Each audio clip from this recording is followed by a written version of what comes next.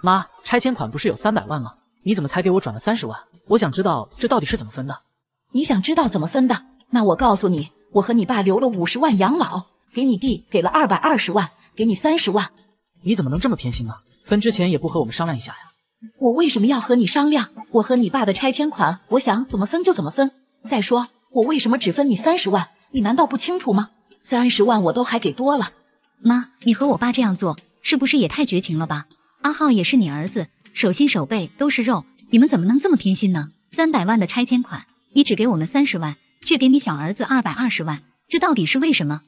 为什么？难道你们不知道吗？那好，咱们就来一件一件说道说道。你还记得杨洋刚出生，我们都给他取好名字了，可是你和阿浩干了什么？你们居然背着我和你爸，让孩子跟你姓了。杨洋可是我们第一个孙子，你们和我们商量了没？从那以后，我和你爸心里就像扎了一根刺。这事都过去这么多年了，杨洋都六岁了，你老揪着不放有意思吗？再说了，我爸妈就我一个女儿，儿子和我姓有什么问题？那我问你，既然我孙子都和你姓了，我为什么还要顾着你们呢？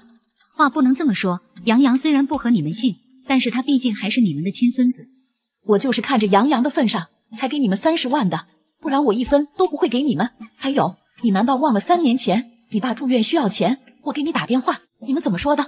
你们说你们工作忙，没时间来医院照顾，也没钱付住院费。你爸的住院费全部是阿旭一个人出的，他媳妇也是请了假和我一起照顾你爸。可你们呢？你们做了什么？妈，那个时候我们真的有事走不开。这样的事情也不是一两次了。这些年来，每次我们需要你们，你们一家是能躲就躲，能避就避，根本不管我们的死活。现在分拆迁款了，你们凑上来了。好了，我也不想和你们多说了。这么多年了，谁孝顺谁不孝顺，我和你爸心里都有一杆秤。分这个钱，我和你爸是经过深思熟虑的。妈，你这样太让我跟阿浩寒心了。你不怕以后我们不给你养老吗？你们爱养不养，反正我也没有指望你们。等我们老的不能动了，我和你爸想好了，我们给自己留了养老钱，以后我们就和阿旭一起生活，你们就不用操心了。好，既然你和我爸把事情做得这么绝，就别怪我们，以后不管你们。不管就不管，你们哪里来就回哪里去。你们支持妈妈的做法吗？为了给那臭小子凑钱买房，就要断送了咱们女儿的大好前程，这代价实在太大了，我接受不了。姐，我马上要结婚了，咱妈让你给我拿三百万，在市区买套学区房，这可是我第一次结婚，这房子你一定要买给我啊！好，既然咱妈都已经开口了，那我这个当姐的也不能推辞了，你就放心吧，这房子的事就包在我身上。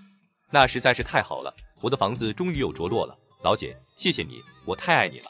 没事，你是我弟弟，我一定会帮你的。你跟你女朋友谈了也有两年了吧？要趁热打铁，赶紧把她娶进门才是。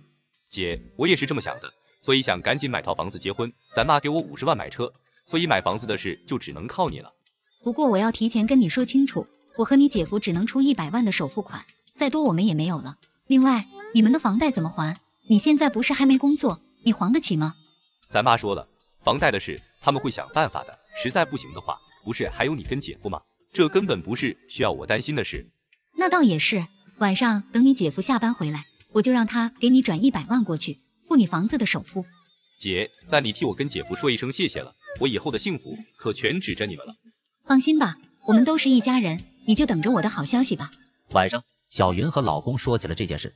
老公，我弟弟马上要结婚了，他那套婚房首付要一百万。你也知道他还没有工作，我们就替他先付了吧。我父母已经拿了五十万给他买车了，我们也不能太吝啬了。他现在就差这套房子就能结婚了。老公听到老婆张口就要一百万，吓得不行，于是老公赶紧想了个办法。小云，其实咱们辛苦这么多年，凑一凑拿出一百万也是不成问题的。老公，那太好了，我还怕你不愿意帮我弟弟呢。怎么会呢？我们都是一家人，你弟就是我弟，这都是我应该做的。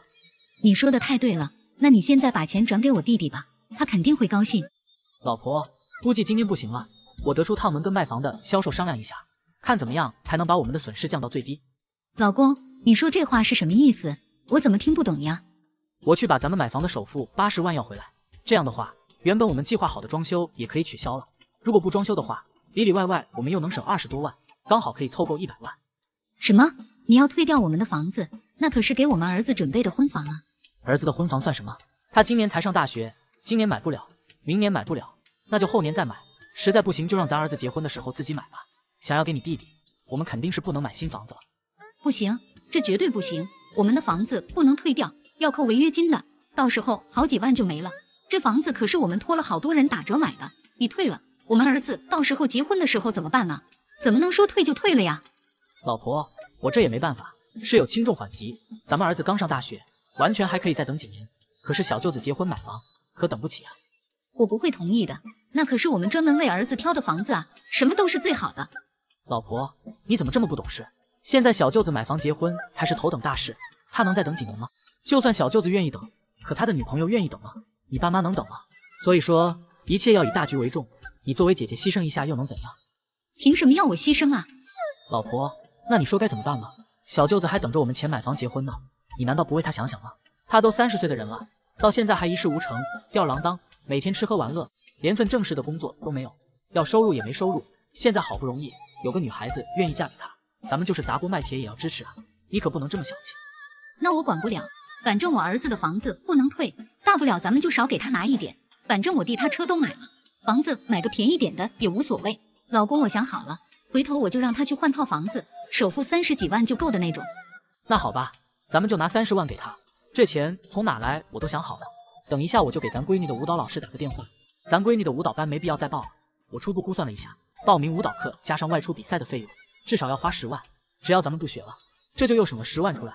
然后我再去把我那辆车卖了，凑够三十万，全部拿去支持小舅子买房。老公，女儿好不容易学出点苗头来，老师都夸她有天赋，现在跟人家说不学了，那岂不是毁了女儿的大好前程？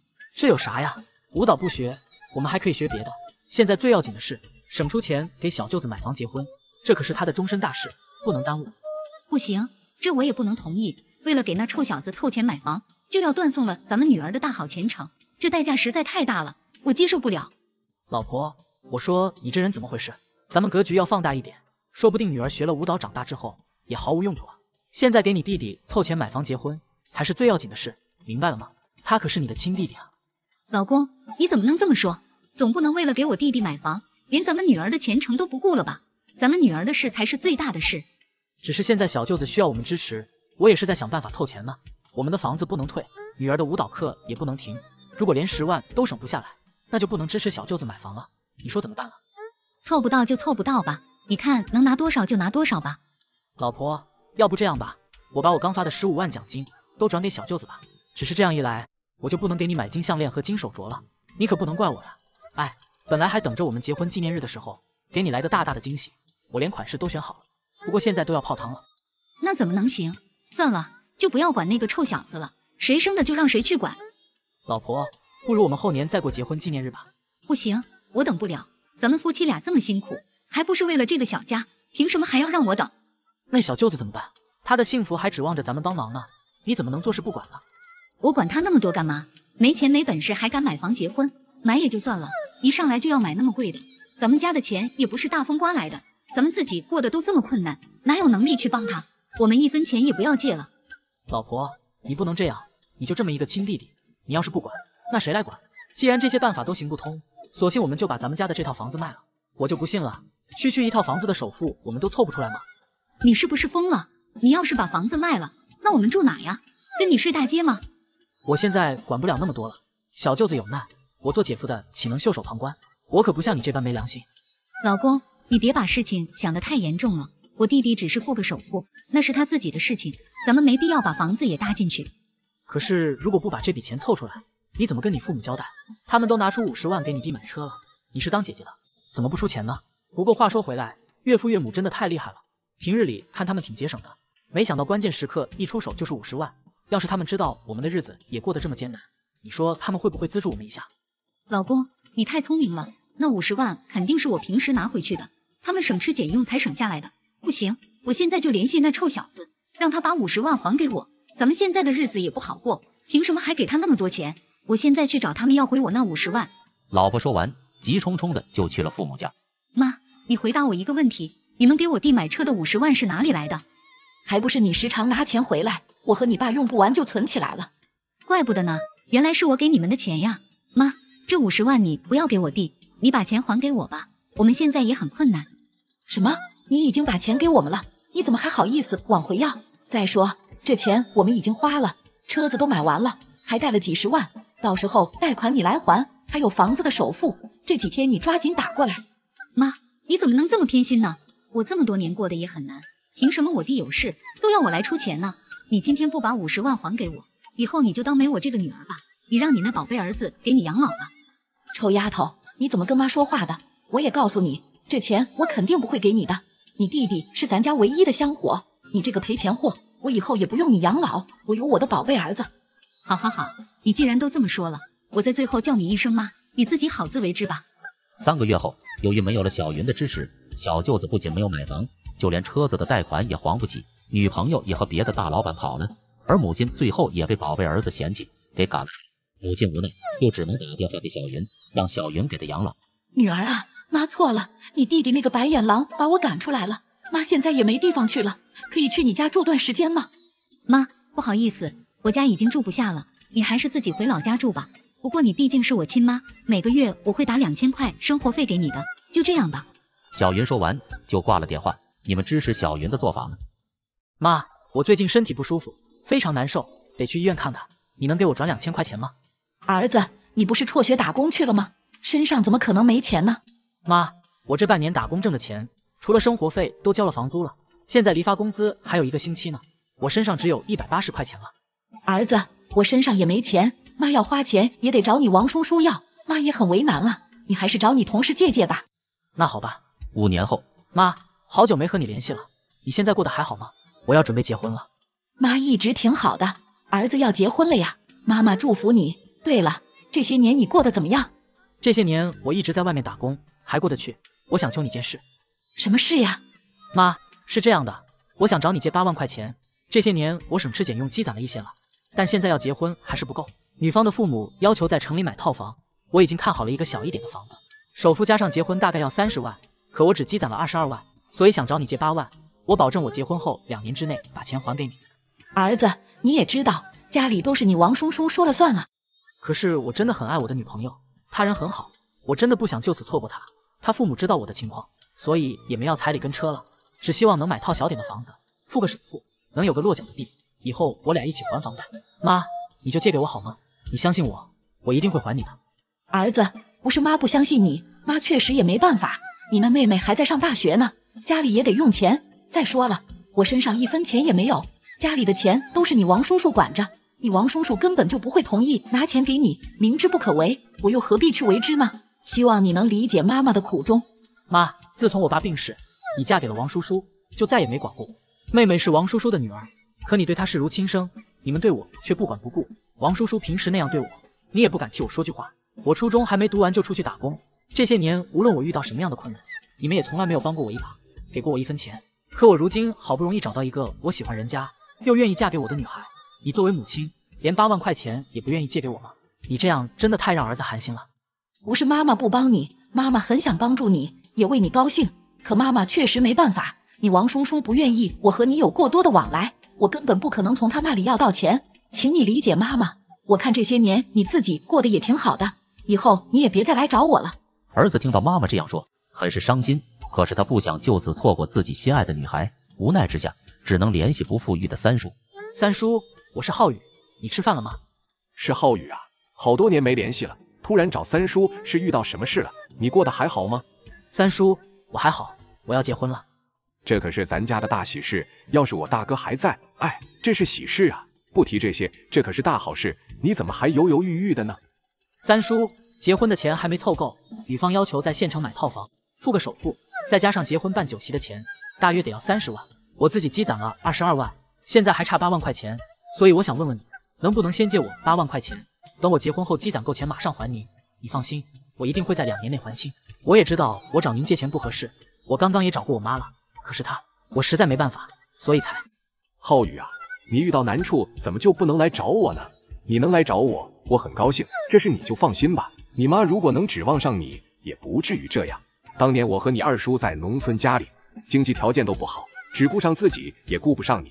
我们也对不起我大哥，对不起你。如今我们在城里也有了房子，有了车，生活条件也好了。你有难处，我们怎么能不管呢？三叔，谢谢你。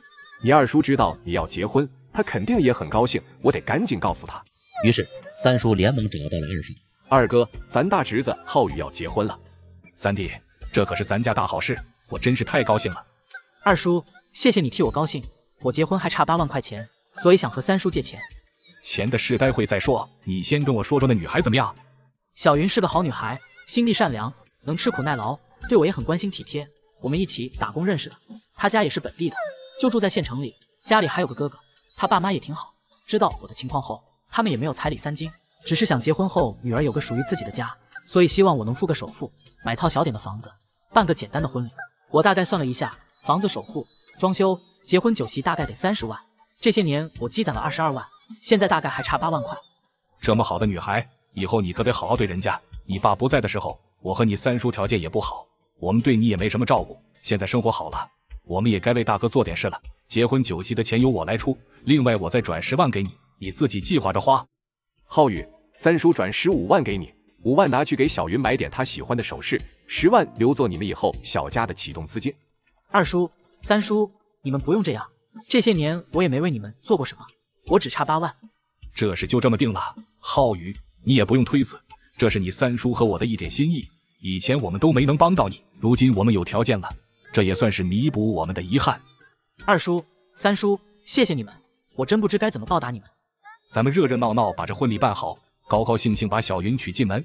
你以后好好对小云，好好孝顺小云的父母，你们和和美美把日子过好，这就是对我们最好的报答。记住了，以后不管遇到什么事，你不是一个人。你还有我和三叔，我们永远都是你的亲人。浩宇，你二叔说的对，我们都是一家人，以后有什么困难，随时来找我们。二叔、三叔，谢谢你们。你们支持二叔、三叔的做法吗？还好意思问我？你明知道大家是给我一千当随礼的，你为什么只给六百？你是怎么好意思拿出手的？我随礼多少是我的事，难道这还要强迫的吗？我真没想到你是这样的一个人。我什么样的人，我自己清楚。你一个新来的不懂规矩，就是你的错。看你平时还挺有钱的，想不到关键时候就给了这么一点。我估计你的有钱也是装出来的吧？我有没有钱和这件事有直接关系吗？我给你随多少钱那是我的事，不管多与少都是心意。而且你也说了，我是新来的，我们才认识多久？我们很熟吗？要是按照我们那边的地方习俗，像你这种情况，随礼顶多给二百，我能随六百，已经很给你面子了。平时看你柔柔弱弱、沉默寡言的。想不到这辩驳起来振振有词，好像是我问错了你一样。既然咱们聊成这样，也就不用再继续相处下去了。我也不差你这一个人。那好啊，不能达成共识，我也不是给你打工的，不用相处再好不过了。那你可要想清楚了，我在公司这么多年，你要是跟我合不来了，就得做好心理准备当孤家寡人吧。照你的意思，你在公司能一手遮天，我必须要讨好你了。你是为了我的随礼钱给的比大家少，所以不痛快的。要不我给你补四百块。也缓和一下我们之间的同事关系。你要是能这么想，也算是你有慧根，懂得进退。我不过随口一说，你还真是来要钱的呀。我见过厚的城墙，但是和你的脸比起来，那真是小巫见大巫了。我在公司本来就跟你就不熟，我估计你是结婚的前一天才认识我的名字吧？还点名非要叫我去观礼，真是难为你了。好啊，我已经给你一次机会了，是你自己不知道珍惜，以后在公司不好做，可别太抱怨了。切。你以为你跟大家处的很好吗？你也不想想，那么多同事就去了两三个，平时都没事，为什么昨天集体都要忙？真有那么巧吗？你这是什么意思？你自己朋友少，还想来挑拨离间？我可不想做这种毫无意义的事。总之一句话，你我以后铁定是陌生人了。把六百块钱还我吧！你说什么傻话呢？六百块能做什么？还想让我还回去？你是在白日做梦吧？真想不到，像你这样的人，居然还能在公司待了这么久。看来我这次来上班真是来对了，怎么怕了吧？还敢要回钱吗？我直截了当告诉你吧，就你给的这点钱，我根本不当一回事。以后你结婚办酒，我是不可能给你回礼的。我要是结婚办酒，你还不够资格来随礼。我现在口头告诉你吧，你被辞退了。看在你刚结婚的份上，我不会让人事部当面公布。笑死人了！你不过是一个新来的，你以为你是谁呀？还想辞退我？先去照照镜子吧。我想该照镜子的人应该是你吧。像你这样的人，只会是公司的拥居定窗，公司是一刻也容不下你了。对了，在此之前，你必须把昨晚公司同事的份子钱都退回去，否则我就把我们的对话传出去。我们的聊天可是有录音的。你是谁？你怎么敢这么做？你知不知道，我跟我们的经理可是很熟的，我让他分分钟辞退你。很好，看来我们的经理我也要调查一番了。如果他也是眼瞎耳聋之人，就让他跟你一起滚出去。你还想问我是谁？那我告诉你，这家公司的老板，从我出生的那一刻起，他就喊我宝贝公主。你猜我是谁？什么？这怎么可能？你肯定是骗我！我有必要骗你吗？不信你就试试看。好了，我也不想跟你废话了，赶紧收拾你的东西滚蛋吧。你们支持小林的做法吗？兄弟，上次你借了我的车，有三个违章，不仅罚了六百，还被扣了九分。你看这事要怎么处理？什么？这怎么会是我呢？我一向开车都很小心的，不存在违章一说。你是不是搞错了？不会错的。最近我的车只有你借去开过，别人动都没动过，包括我自己。我好歹也开了六七年的车了，会不会违章，我难道不知道吗？你是不是故意赖我呀？咱们这么多年的交情了，我何必无中生有呢？这也不是我的作风啊。那我就不知道了，反正不是我违章的，你自行处理吧。男子汉大丈夫敢做敢当，你怎么不敢承认呢？这段时间我的车除了你开过，没有别人碰过，你自己心里没数吗？你什么意思？我都说了我没有违章，你今天非要说成是我吗？你以后要是不想借车，你直接说啊，何必给人泼脏水呢？真是太不仗义了。那我问你，你借车那天走的是幸福路，信息显示两次违规都是在幸福路。那肯定不是我了，我借车那天走的是相思路，全程都没有经过幸福路。可是违章的时间就是借车给你的时间，难不成你人在相思路走，车子自己跑去幸福路了？你到底有完没完？我都跟你说了，不是我违章的，你还在这磨磨唧唧的，有这个时间跟我辩解，还不如赶紧去处理一下违章。这么简单的事，既耽误不了你多久时间，也花不了你几个钱，自己搞定一下不就完事了吗？你以前借了车，不管是给我刮蹭还是磨到了，也是从没跟我交代一句，我当你是兄弟，也没说什么。如今你还这样的态度，你也不想想，我每次把车借给你，油都是满的，你每次还车回来，哪回油箱不是空的，还一地垃圾？我现在才发现，你怎么跟个娘们一样爱翻旧账，斤斤计较？这不过是几百块钱的事，你跟我扯这么多有意思吗？再说了，我什么态度？我自认为我态度好着呢。不说了，真是没劲透了。我还有事要忙，没空和你废话了。行，你去忙吧。既然你不仁，就别怪我不义了。你这是什么意思？你想怎么样？你大概不知道违章是会被电子眼抓拍的吧？全是高清图，你穿什么衣服，脸上什么表情都能看得清清楚楚。前面是给你面子，不想说的太直接，想不到你自己要把脸皮撕破，简直不地道。不就是不想处理，不想给钱，铁了心又赖账，把我当冤大头是吗？没问题，这违章我自己处理了，这钱算我自己的。但是我们之间的聊天记录和违章图，特别是你开车得意的样子，我会打印五百份到你小区和你公司楼下贴一贴，发一发，让所有认识你的人都看一看，认一认。特别是你公司的领导，也让他们清楚一下，他们麾下的员工到底是个怎样的人。兄弟，别这样，可不敢开这种玩笑啊！咱们之间有什么事不能好好说吗？我刚才想起来了，那天走的好像就是幸福路，违章应该是我的，理应由我处理，都怪我这两天忙于工作。所以有点记不清了。你大人不计小人过，别跟我一般计较啊！你不是很能辩解吗？你不是不承认吗？怎么这么快就认怂了？我知道你是个大忙人，事务繁忙，日理万机。没关系，你去忙吧。等明天我把该做的事情一做，或许以后你就不用那么忙了，可以闲下来好好整理思绪，记性就不会那么差了。兄弟，我知道错了。你我都是这么多年的朋友了，晚上我请你吃饭，这事就算了。你也挺忙的，就不要那么认真了。呵呵，现在你想起跟我是兄弟了？你也不看看你自己啥样，跟我称兄道弟，你简直侮辱了“兄弟”这两个字。不过由你嘴里说出来，请客还真是难得。说起请客吃饭，我倒是想起了那么两三件事。这一年来，我请你吃饭三回，每回我只叫了两三个人，而你呢，总是自作主张，把你自己的朋友全都叫来，一来就是七八个。原本我八百块钱就能搞定的事，你总是让我多花个三四千。你说这样的账又该怎么算呢？不是你说的请客吗？我想着人多热闹，这才多叫了一些。而且可以拓展你的人脉，你也不损失呀。你真当我是愣头青吗？什么是朋友，你懂吗？什么是有价值的人脉，你懂吗？还有，请客吃饭，主人请谁就是谁，客不待客，除非是你自己请客，这是交友的规矩，这你难道都不懂吗？兄弟，其他就不说了，你就得饶人处且饶人吧，别把事做得太绝了。就算以后不当我是朋友了，也别多个仇人呀。我才工作不久，也还没娶媳妇，有什么条件你说吧，只要别太过分就行。你以为我很闲吗？我好心好意借你车，你还跟我耍赖皮斗心眼，都是男人大丈夫，不拘小节。本来想着睁一只眼闭一只眼也就算了，你要是认个错，态度好一点，咱们就还能处。谁知你错就错了，还错得理直气壮，耀武扬威，那就别怪我跟你翻旧账。好，这账我认了，加上之前请客的事，总的算五千吧。晚点我就给你转过去，这事就大事化小，小事化了吧。不用给了，用这一点钱看清你的嘴脸，我觉得太值了。我告诉你，做人留一线，日后好相见。别自作聪明，总是把别人当傻子，否则你的下场就是玩火自焚。以后我们各走各的路，你自己好自为之吧。你们支持男生的做法吗？接上集，一转眼八年过去了，夫妻二人也生了一儿一女。可是眼下面临一个很大的问题，就是房子太小不够住。老婆，你看咱们家这房子不够住了，要不我们重新买一套吧？俩孩子都不小了，儿子和女儿总要分开住的。是啊，自从有了孩子以后，总感觉家里的空间变小了，特别是现在孩子要写作业，需要单独的房间，咱们这房间实在有限。那过几天我们就去看房子。我大概算了一下，这八年来我们存在妈那里的钱，足够我们买一个比较大的房子了。那就好，还是妈有远见。早早就替我们存钱了，回头我们真买了大房子，可要好好感谢一下她。你现在不气她了吧？之前因为没给我们带孩子帮忙，你可是有怨言的。算了，那个事情就不提了。现在孩子也大了，说那些也没用。况且你妈说的也对，会生就要会养，那才叫本事。这话我可记着呢。老婆，这几年确实辛苦你了，里里外外没有你的话，我都不知道怎么过了。我想好了，等这回我们买了房，我就把卡拿回来，将来好好补偿你。行啊，那我可就太期待了。择日不如撞日，今天我们就去看房子吧，争取这个月就把房子的事敲定了。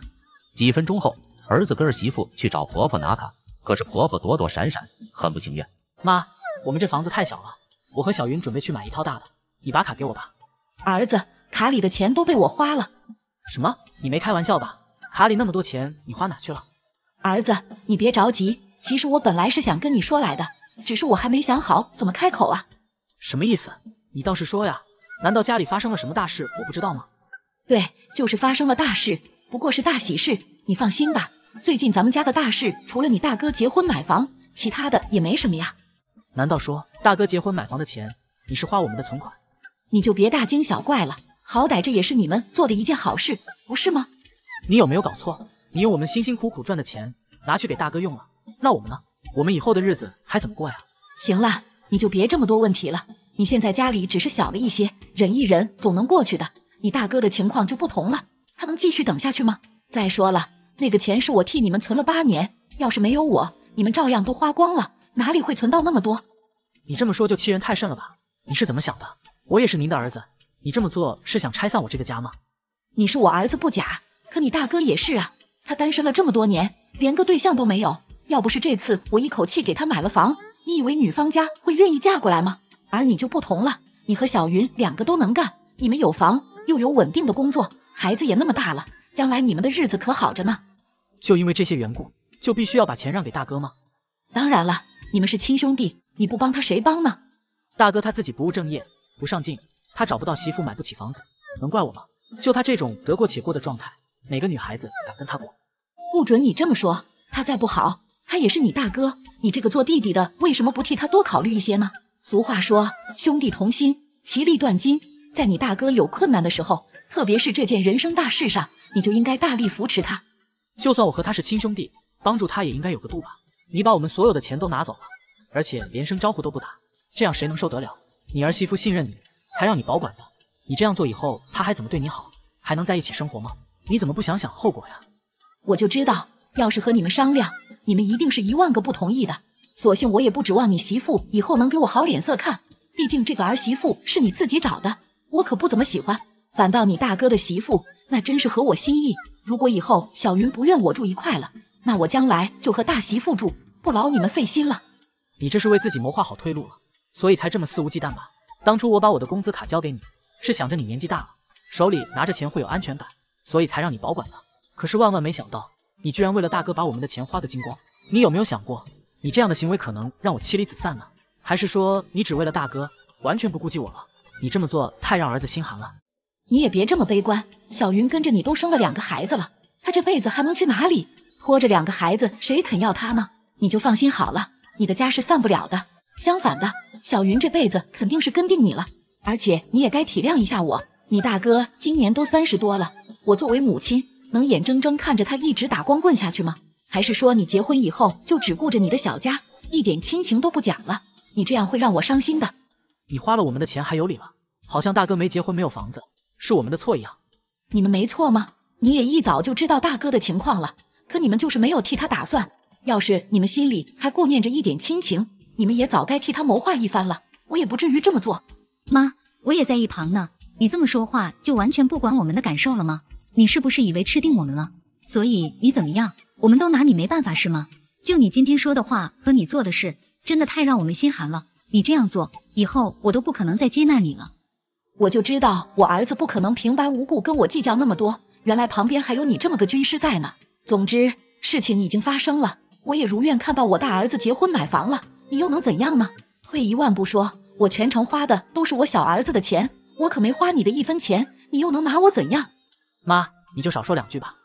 我怎么不能说了？我替我自己的孩子筹划，我有错吗？你也是的，他是你大哥，如果他没房子，哪个女孩愿意和他过日子？你们这么帮他。他会记住你们的好，又何必这么斤斤计较？我相信将来你大哥有出息了，他会报答你们的。就他那样好吃懒做的人，你还希望他有出息？他娶了谁，就是害了谁呀？住嘴！你有什么资格说我儿子？不就是因为钱吗？大不了这笔钱就当是我借的，以后妈会还你们的。你怎么还？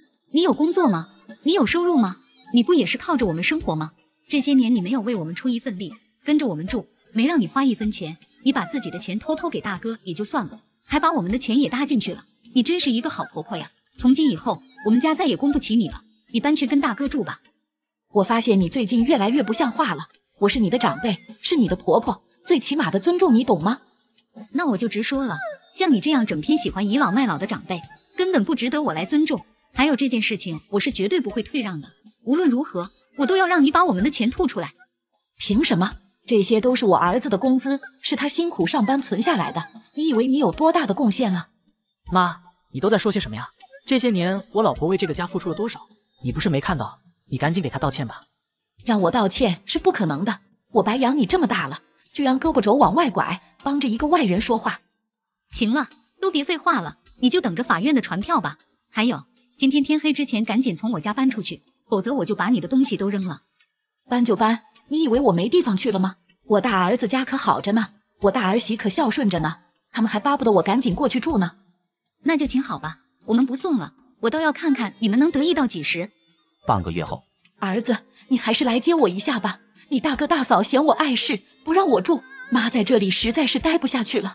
你不是说他们很孝顺，大哥会有出息吗？那就让他们好好给你表现一下吧。儿子，妈知道错了，你就来接我吧。我是不会去接你的，就这样。我还要上班了。儿子说完，果断挂了电话。一个月后，小云起诉婆婆和大哥的官司胜诉了，夫妻俩总算要回了自己的一切。不过从那以后，婆婆就只能回乡下自己住了。你们支持儿媳妇的做法吗？老公，咱家闲置的那套房，能不能先让我弟弟他们住三年呢？你看他们刚结婚，弟弟家境也不太好，他俩才出来工作没两年，也是买不起房。老婆，可以啊，那套房本来也是咱儿子上学用的，儿子还有好几年才上学呢。先让他们缓一下吧，但是有个前提啊，等儿子上学的时候，他们必须要腾出来。还有一件事，我要将丑话说在前面，将来以后很有可能因为这个房子的原因，闹得两家人不愉快。你这么帮他，我怕你弟弟没有压力，不好好工作。你别误会，我不是说要收他们房租，也不是不想借给他们，因为现在这样的事情发生的太多了，我不想因为这种事情最后弄得亲情都没有了。老公，放心吧，我相信我弟弟的人品，我弟弟不是那样的人，他从小就很努力的。他们年轻人潜力很大的，可能用不了三年，他们就搬出去了。那好吧。转眼六年过去了，老婆，咱们儿子马上要上小学了，你跟你弟弟他们说一下吧，让他们搬出去住吧，我们要搬过去了。老公，我知道了，我现在就联系他。弟，你小侄子还有几个月就要上小学了，我们要准备搬过去了。这段时间你们收拾一下，也去看看房吧。姐，知道了，晚上我和你弟媳说一下。又过了三个月，老婆。我上次和你说的事，你和你弟弟说了没有啊？还有几天就开学了，他们到底搬不搬了？怎么一点动静都没有啊？我之前就和你说过，他们住可以，但是等咱们要用的时候，他们必须要搬走啊。你和他说了吗？我都跟他说了，估计是有什么事给耽误了吧。老婆，我知道这件事你挺为难的，如果你不好意思说，那我去说。老公，我和我弟弟说的时候，他都答应的挺痛快的，我明天直接过去看看吧。你别去说了，我和他毕竟是亲姐弟，有些话好说。你去和他说，别再闹出不必要的麻烦。第二天，老婆无奈只能来到弟弟家。弟，你们这是什么情况？我都和你说了两个月了，你们怎么还没搬出去呢？你小侄子马上就要上学了，当初我们可是说好了的，房子你们过渡三年，现在你们都住了六年了。姐，你也知道这几年行情不太好，我和你弟妹也没挣到钱，我们现在还买不起房子呢，外面租房太贵了，太不划算了。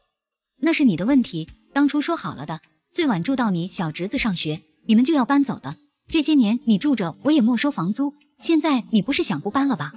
姐，你这房子当初我住进来的时候是简装，我和你弟妹来的时候又重新装修一遍，你看现在家里这些东西，你让我们搬出去，我们这些东西怎么办啊？再说了，你和姐夫那么有钱，你们能不能在附近租几年房子？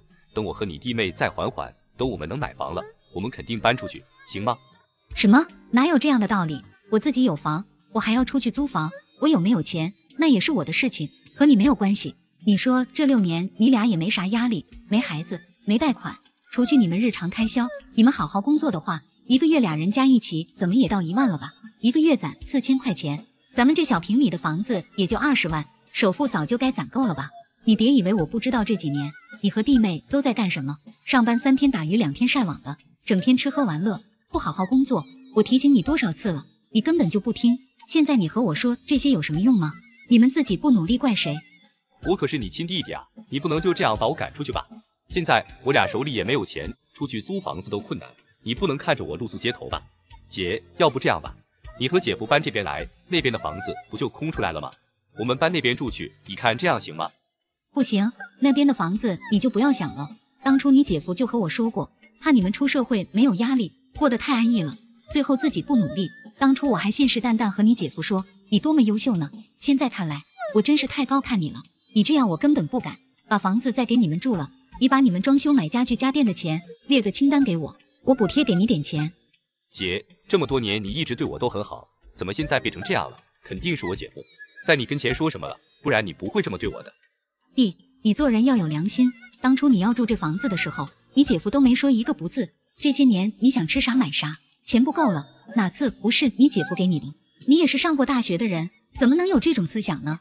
你们夫妻俩自己不努力，就不要怨天尤人了。我再给你三天的时间，马上给我搬走，不然别怪我这个当姐姐的不讲情面了。你们支持姐姐的做法吗？亲家，和你商量个事，你看可以吗？什么事啊？你看，孩子们马上就要结婚了，想给他们买一套房子，但是家里条件有限，全额可能不够。我打算给他们付个首付，你看可以吗？这不需要商量啊。那你的意思是，亲家，这事肯定可以啊。孩子们也刚刚毕业，他们也没有多少积蓄。是啊，我们老两口也想让孩子们减轻一点压力，可我们也就这么大的能力，没办法呀，就是付个首付就可以了。房贷嘛，就让他们慢慢还吧，给他们点压力。他们才能有动力。我的想法是，房产证上就写你女儿名字，一来呢让亲家放心，二来呢这样也能体现出我们对未来儿媳的重视。我说亲家母，这些没有必要，我们马上就是一家人了，就不要做这些客气事了。哎，没能给孩子们全款买一套房子，我这已经觉得挺内疚的。没事儿，我女儿从小被我都惯坏了，这过去了还要给你们老两口添不少麻烦呢，你们多担待一下她。你就放心吧，我一定拿她当自己亲闺女一样对待。房产证上就写他们两个名字就可以了，以后只要他们两个孩子能过得幸福美满，我们也就放心了。是啊，不过亲家母，我这有几个要求要提出来。虽然我们一直都说婚礼简单举办就可以了，但也不能太寒酸了，是吧？是的，那你们是怎样打算的？这该省的就省，该花的也得花，彩礼嘛，这肯定少不了。这是肯定的。风俗习惯还是要有的，不能让人家说闲话。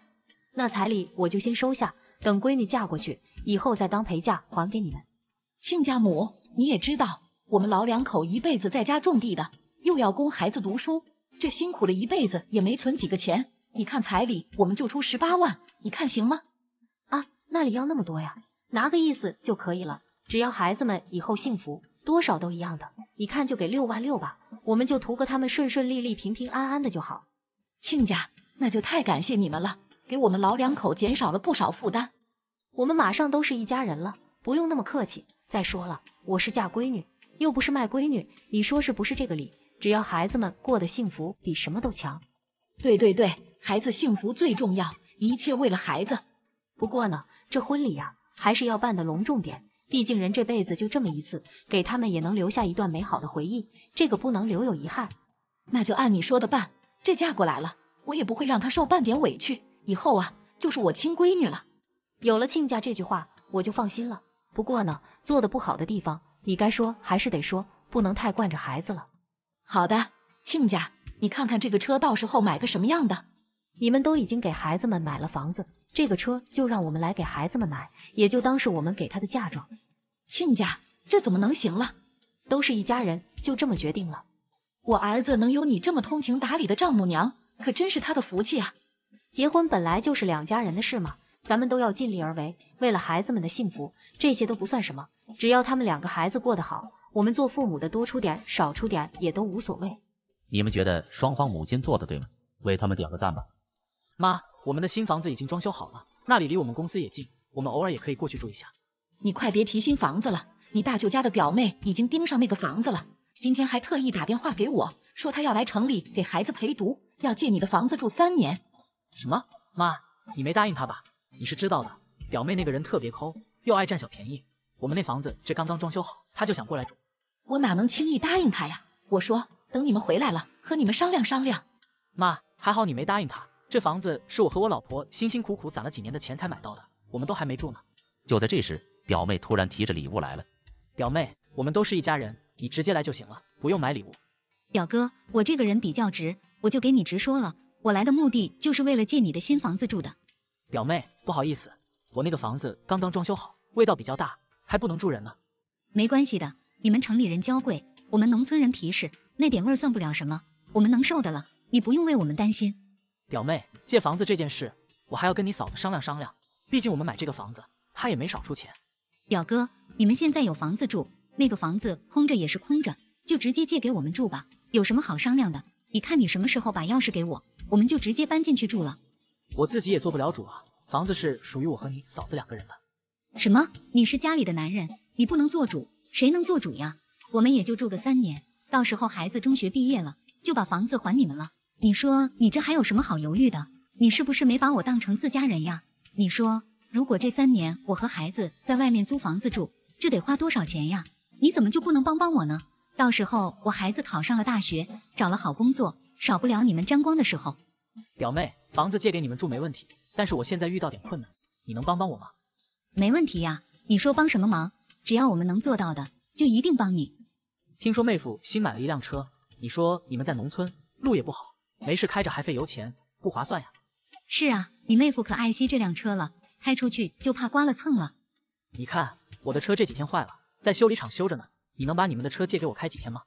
那怎么能行呢？我们家的车可是花十多万买的，我们自己还没怎么开呢，怎么能借给你们开呢？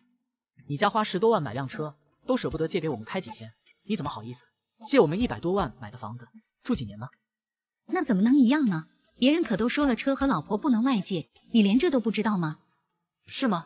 那今天我就再给你加上一样，车子、老婆和房子都不能外借。表哥，你怎么这么小气？别以为你住在城里就了不起了。等以后我儿子考上大学，出人头地了，到时候你有事找我，别怪我不帮你。表妹说完，气冲冲的就走了。你们支持表哥的做法吗？老公，我刚旅游回来，你就要跟我离婚了？对，明天我们就去把手续办了。老公。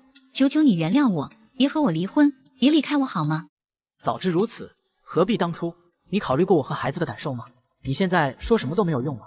如果一开始你能考虑到我和孩子的感受，你就不会欺骗我说去哈尔滨看冰雪世界了。当我看到你和你的前男友在一起的时候，我多么希望那个人不是呢？可是我不能欺骗我自己，不能欺骗孩子。老公，我也是有难言之隐的。他的妈妈得了心脏病，需要人照顾，连去卫生间都很困难，他一个大男人照顾也不方便。他打电话让我去帮忙，我总不能眼睁睁的看着不管吧？那你以后可以继续去照顾了。你走了一个礼拜后，儿子天天哭着喊着说想你了，还说想吃你做的芹菜溜草莓了。我对儿子说妈妈过两天就回来了，可是等了一天两天三天五天，你一直都没回来。后来每天看到儿子在哭，说妈妈不要他了，我一个大男人看了就心疼，难受的也跟着掉眼泪。对不起，就算是为了孩子，原谅我好吗？晚了，太迟了，你不值得原谅。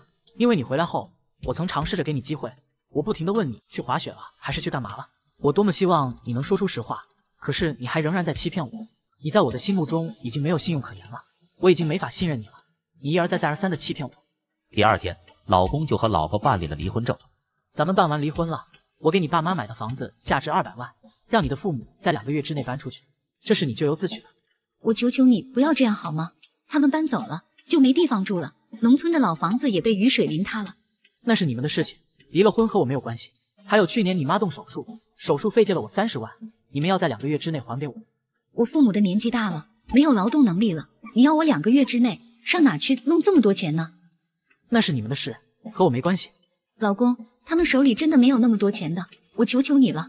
你以后不要再叫我老公了，我们现在已经离婚了，没有钱你可以去借，自己想办法。看在咱们多年夫妻的份上，你放我们一条生路吧。他们要是把房子还给你了，他们连住的地方都没有了呀。没有住的地方，你可以给你爸妈租房子，这不是理由。没有钱，你可以找你的朋友，也可以去找你前男友。而且他住的那个地方也是高档小区，单价也是几万多一平米，他应该挺有钱的。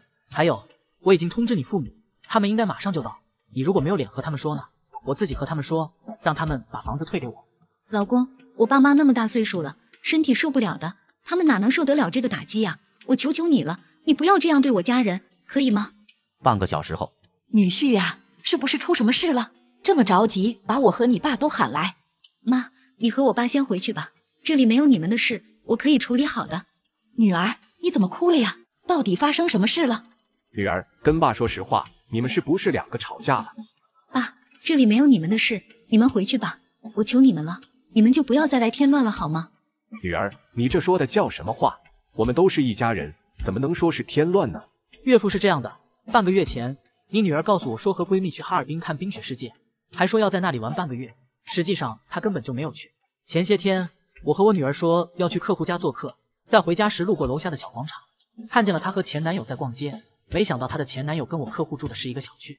女婿呀，这里面是不是有什么误会呀？是不是看错人了呀？我女儿怎么会做出那样的事？就是啊，女婿，我女儿是不会这么做的。我养她那么大，我对她很了解。你们不相信，可以问问你女儿，我手机的相册里一大堆，随时可以给你们看。我让我的司机已经在那个小区跟着她好些天了。这怎么可能呢？女儿，女婿说的是真的吗？你说话呀，你哭什么呀？这到底是不是真的？他说的一半是对的。我前男友的母亲得了心脏病，去卫生间都困难。前男友他不方便照顾母亲去卫生间，所以我才……你是真糊涂啊！你去照顾他母亲之前，怎么不征求一下女婿的意见啊？你想瞒天过海吗？哪有你这么笨的？阿姨，现在说这些意义也不大了。我和你女儿已经办理了离婚，麻烦你们在两个月之内把我的房子腾空退给我，还有借给你们的三十万手术费，在两个月之内还给我。那个房子写的是我的名字，你们不想退也可以。那房子现在市场价在二百二十万左右，你们给钱给二百万就可以了。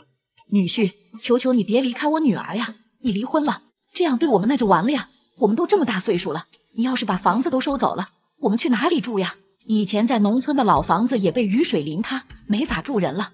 你们现在知道没钱了是吧？你们现在知道后悔了吗？你们的女儿在外面照顾别人的时候，有没有想过这些？有没有想过我的儿子？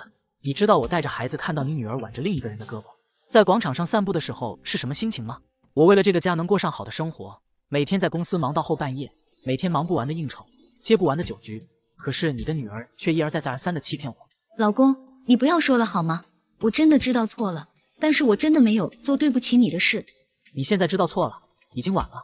房子和手术费给你们两个月的时间，抓紧想办法。老公，你不要这样好吗？我求求你原谅我好吗？以后我再也不会了。你让我怎么原谅你？你问问屏幕前的朋友们，他们同意我原谅你吗？儿媳妇，我高烧四十度不退，喉咙又疼，估计是中招了。妈，那你肯定是阳了。是啊，我现在浑身没劲，你就别上班了，赶紧请假回来照顾我。你有儿有女的，你叫他们回来照顾你啊。我儿子要上班，不能影响他工作。女儿又才嫁出去不久，万一不小心传染到她婆家去了，那我不成罪人了。你担心传染给你儿子和女儿，难道就不担心传染给我吗？当初我阳了，你们一家是怎么对我的？你难道忘记了吗？我高烧几天不退，没有一个人管过我的死活，甚至连个关心的电话都没打过，烧的连说话的力气都没有，最后还是我自己扛过来的。那时的情况和现在不一样，谁敢接近你啊？当时是我不让我儿子去照顾你的。因为这玩意儿传染性太强了，一旦被传染，就上西天取经了。你的心真够狠的呀！你也没想到你也有一天会被传染吧？这报应来的真及时，你就一个人在家硬扛着吧。我是绝对不会去伺候你的。你这女人怎么就这么狠心？你要是不来，那你就等着吧。我马上告诉我儿子，我让他回去好好收拾你一顿。说完，老太婆就打电话给儿子，还不忘添油加醋的告了一状。听完母亲的哭诉，儿子恼羞成怒，立马赶回了家。你是什么意思？我妈都病成那样，让你过去照顾她，你为什么不肯？还要说那种话气她？真搞笑！你妈现在阳了，为什么非要我请假去照顾？你是她的儿子，你怎么不去呢？你妹妹怎么不去呢？我妈叫你去，你就必须得去。你不是已经阳过了吗？你有什么好担心的？我是阳过了，难道你想让我再阳一次，然后你们再对我不管不顾，再一次让我体会亲情的冷漠吗？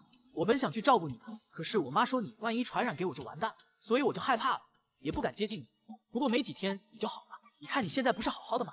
这话你竟然也说得出口？我不想跟你废话，你赶紧请个假去照顾我妈，她年纪大了，我担心她扛不过这一劫。你妈能不能扛过这一劫，跟我有半毛钱关系？你是她的儿子，你都懒得去照顾，更何况我这个外人呢？你是铁了心不想去是吧？那你就别怪我对你不客气了。今天你去也得去，不去也得去。说完就对老婆一顿暴打，打得老婆鼻青脸肿。老婆忍着疼痛报了警。半个小时后，老公被带到警察局，他第一时间打电话联系他母亲。妈，不好了，你儿媳妇报了警，我现在被抓了，可能一时半会出不来了。你联系一下我妹妹吧。得知儿子被抓，高烧不退的母亲差点就昏了过去。他又拨通了儿媳妇的电话。你还是人吗？你不来照顾我就算了，现在连你老公都祸害，你的心也太狠了吧？他是自己咎由自取，怪不了我。我不光要报警抓他，我还要起诉他，更还要和他离婚。你们支持儿媳妇的做法吗？女婿，门怎么打不开了？你把门锁换了吗？是的，我把锁换了，为了就是不让你进门。你什么意思啊？为什么不给我进门了？我哪里做错了吗？妈，你在我家住了十年，我照顾了你十年，最终还是抵不过你那个不孝的儿子。女婿，你在说什么？你在我心里一直是最孝顺的，比我儿子对我还亲呢。市中心那套学区房。你偷偷的过户给你儿子了吧？现在我儿子也上不了学了，这下你满意了吧？那是我的房子，难道我还不能随意处置吗？我年纪大了，那房子我迟早要留给我儿子的，现在给他不是一样吗？妈，你别忘了，这十年是我们在给你养老，不是你儿子在照顾你。是你给我养老，但不见得我一定要把房子给你啊！你始终只是我女婿，而他是我的儿子，我怎么可能把房子给你呢？难道你给我养老就是为了那套房子吗？你要这么说的话，那你以后去找你儿子养老吧。你明明知道我们急需那套房子，你还偷偷的过户给你儿子，你真的让我心寒。我和你女儿商量了，你还是回你儿子那句吧。女婿，你怎么能说出这样的话？你明知道我儿媳妇不让我和他们住在一起，只是你儿媳妇吗？你住你儿子那里的时候，你儿子也天天和你吵，就是想赶你走，不想你住在那里。当初你是受不了了，要来我们这里住。一开始我不同意，但你女儿不停的劝我说岳父走得早。说你可怜，我最终同意了。就这样，我和你女儿照顾了你十年。年前你心脏病发作，是我把你送到医院抢救的。住院那段时间，也是我和你女儿在照顾你，在医院的所有费用都是我出的。你那个宝贝儿子根本来都不来，电话也不打一个，你应该很清楚吧？哎，他那时候也是忙，工作上有事走不开。他工作再忙，打个电话的时间总是有的吧？好，就算你儿子在忙工作，那你儿媳妇呢？她可是在家闲着的，同样也是面都没有露过。是的，当时我儿媳妇说她没有赡养我的义务。是啊，她说的真好，儿媳妇没有赡养你的义务。那你觉得作为女婿的我有没有赡养你的义务？当初你住院不是一天两天，而是整整个三个月。你儿子休息的时候不是照样没有来过？我儿子他一直想来的，他一直担心我，但是我儿媳妇不让他来。他要是来了，就要和他离婚。这些话你也相信？这种理由也就是你自己骗自己，到头来。还是我这个没有赡养义务的女婿一直在照顾你。我儿子说了，他虽然没有过来照顾我，但是他把我住院费和手术费都还给你了。胡说八道，他怎么好意思说出口啊？你知道在路上我碰到你儿子，他做了什么吗？他明明看见我了，却掉头就跑了，像老鼠见到猫一样，就是怕我向他要钱。这些钱都是我和你女儿承担了的。什么？他居然骗我？这我真不知道。他竟然没有把钱给你们？别演戏了，你儿子是什么人，你最清楚不过了。当初病好了，你都不愿意回你儿子那里，十年来一直在我们家。你亲儿子要接你回去，你也不回，偏偏要在我们家。女婿，你回来给我开门吧，我站不住了，我老了，站不了这么久。我说了，你回你儿子家吧，我以后不会再管你了。女婿，你别这样，我住你这儿，我把退休工资都给你了呀，我一个月近两千的退休金呢。你那点退休金够干嘛的？你每个月光吃药就差不多一千了，还要定期复查。你要和我算账的话。这几年你大病小病的医药费，还有我和你女儿照顾你的费用呢，这又怎么算？我们的付出你都觉得理所当然，甚至还觉得我欠你的，对吧？所以你还是去你儿子那吧。女婿，我不去他那。我儿媳妇是什么样的人，你又不是不知道。所以这么多年，我和你女儿才让你一直在我们家住着，因为你这个病不能生气，也不能着急，所以我们一直很小心的照顾你。这十年来，我们操了多少心，花了多少钱，我们也没有别的要求，就是希望我儿子能够上个好学校。我儿子也是你的外孙啊，我们只希望让你的外孙有个好的读书环境。这些事也都和你讲过，你也都是知道的。可你最后做了什么？你偷偷的不声不响的把学区房过给那个不孝的儿子了。女婿，我也没办法呀。当时我儿子和我说儿媳妇快生了，我儿子说反正我现在住你们这里，房子空着不如过户到他名下。我当时也问他了，那我外孙上学怎么办？我儿子说先把房子过给他，然后再把外孙的户口迁到他名下就可以了。我一想这样也行，但是我也怕你和女儿会有意见，所以才偷偷的过给他了。别说这些了，我也不想听你去解释那么多了。你要想住就住最后一晚，晚上我帮你收拾东西，明天就带着你的行李到你儿子那里去住吧。女婿，你别这样子，我没觉得我有哪里地方对不起你的。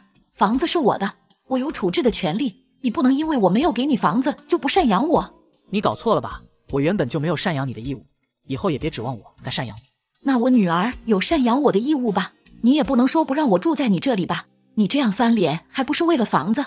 有房子你就赡养我，没有房子你就不管我。我是心寒，我是觉得我对你再好，你都觉得是应该的，不会有一点感激之情。我怎么没有感激了？我在这住的时候，不是一直都说你才是最孝顺的？嘴上说谁不会，可你干的事是你嘴上说的吗？我就不明白了，外孙上哪所学校不都是一样吗？为什么就非要上那个学区呢？你们最后还不是想要房子？我把房子一过户给儿子，你们就翻脸了？算了，我不想和你说了。最终，岳母还是去了儿子那里。半个月后，女婿，我错了，我儿子和儿媳妇对我都不好，你接我回去吧。你看有没有办法要回房子？我都配合你，我把房子给你。你外孙已经想办法上学了，你现在把房子给我们，我们也不要了。你就接我回去吧，我好想我外孙了。不要给我打电话了，我也不会再让你住我这里，我没有赡养你的义务。一个星期后，女婿，我真的过不下去了，他们不孝啊！你接我回去吧，以后我都听你的。我回去可以帮你带带外孙，可以帮你们收拾房子、做做家务，只要能去你们那里，我咋样都行。我儿子和儿媳妇他们不孝，只有你们最孝顺了。大家觉得女婿应该接回岳母吗？换做是你们会怎么做呢？老公，你确定不叫婆婆过来帮忙带孩子吗？不叫，要叫你自己叫。为什么？我每天要上班赚钱，哪有空带孩子啊？反正我是不会叫的，你自己做的事你自己心里清楚。我做什么事了呀？不就是每个月给我娘家打几千块钱吗？你至于这样对我吗？呵呵，我们都已经结婚了，那可是我们共同财产，你瞒着我每个月给你娘家打钱。你还有理了？上次我妈过来带孩子，可是你一分钱不给她，所有开支都要她自己出，你的钱却打给娘家，你怎么还好意思叫她来？要叫你自己去叫。半个小时后，妈，之前我错了，你能来帮我带带孩子吗？以前的事我可以不计较，但这次去我有三个要求。什么要求啊？第一，每个月的生活开支是四千八百元，我们各承担一半，也就是说每个月初你要给我们两千四百元。由于房贷和车贷是我儿子在承担，所以这两千四百元就由你来承担。妈，我们都是一家人，有必要算得那么清吗？我的工资只有六千，每个月还要买奶粉、尿不湿，再给你们两千四百，这样你叫我怎么生活呀？儿媳妇，有些事我做婆婆的不想说太明白。你每个月省吃俭用给你爸妈打钱，少则两千，多则三千，为的就是给你弟弟存钱买房。那是我自己赚的钱，我有支配的权利。再说，我为这个家付出的还少吗？我没有非要你答应，我可不欠你和我儿子的。想我过去带孩子，开支又要我自己出，你想的倒挺美。你说第二个要求吧，就是不能对我发脾气。我过去是给你帮忙的，让你可以轻松点。你别把我当仇人，不要把工作的情绪带回来，甩脸子给我看。当然，如果我有做的不对的地方，你直接说出来，我会改。我知道了。那第三个要求呢？还有就是不要我一来你什么都不做了，家务都堆给我。上次就是你一回来就躺着玩手机，什么都使唤我做。我可以给你们准备好一日三餐，也可以做家务，但你有空就帮忙一起做。就这么多，没了吧？妈，你就这一个儿子，和我们算那么清，只会把关系闹僵。多补贴给我们一点，我和你关系更近了。家庭不就更和睦了？我的要求已经说了，你要同意我就去，不同意就算了。你要这样，我没法和你儿子过了。凭什么要我给你两千四百生活费？你这样太欺负人了。别拿这个吓唬我，你要不想过了就离吧。结婚以后我帮衬了你们多少，你却还不满足，给我发脾气，给我脸色看。你明明就有钱，可是从不拿出来。你父母没有帮你，反而你每个月往娘家打钱，不是两千就是四千。我作为女儿挣上钱了，我想让父母过得好一点，我有错吗？我孝顺我父母也不对了吗？我又没问你儿子要钱，我花我自己的钱孝顺父母，报答父母的养育之恩，惹着谁了呀？你很委屈了，都像你这样，日子还怎么过？你懂不懂什么叫夫妻共同财产？你挣了六千，有四千是家里的，你却都拿回娘家。你竟然结婚了，就应该把小家放在第一位。凭什么每次要我这个老太婆补贴你们？我也不跟你废话了，以后我是不会再补贴你们的。想要我去带孩子，就必须拿钱出来。哪有你这样做婆婆的？你简直欺人太甚！看到这里，你们觉得这是谁的错？妈，彩礼的事，你准备怎么解决啊？阿呆呀，妈今天就是要给你说这彩礼的事。我们先吃饭，吃完饭我们再聊这个事。妈，我们还是先解决彩礼的事吧，不然我吃不下。老公，你这是什么意思？今天可是我妈生日啊，再大的事不能吃完饭再说吗？那好吧，阿呆呀，彩礼本来是说好的二十五万，是我擅自加到了六十万，当时也是为了女儿风光点出嫁，多出来的钱说好的是返给你，一直没给，你是不是有点生气了？是我这边的情况你也清楚，当初彩礼的钱我都是借的，可你一直不给我，这可是你答应我的。妈也不是故意不给你，当时是有原因的。那现在能把钱还给我了吗？当然可以，你需要的时候随时拿给你。你说我就这一个闺女，我有再多的钱，到时候不都是你们的？我又带不走一分。你现在外面还欠多少钱？当初一共是借了别人三十万，我这几年也还的差不多了，到现在还欠五万多。那妈先拿六万给你，把欠的钱还了。这几年也辛苦你了。你给我六万做什么？直接把该给我的钱都给我就行了呀。妈是这样想的，你们年轻人花钱大手大脚的，所以想着帮你们存着。要是以后遇到什么事需要用钱拿不出来怎么办？你们还年轻，花钱的地方多着呢。我给你们存着，你要用钱的时候随时找我要就行。妈，不用了，我自己会存钱，而且我还不抽烟不喝酒，每年也就买几件衣服，放假的时候也只是偶尔出去玩一下。所以你还是把钱给我吧。那行吧，那我一会把钱打给小云，你们两口子以后好好过日子。妈，你打给他干什么？这些钱基本都是我父母的，我欠别人的都还完了。我欠我爸妈的还没有还完了。再说我爸妈现在看病都没钱了。什么？你要给你爸妈还多少钱呢？这钱算是你们这几年挣的，是你们夫妻共同财产。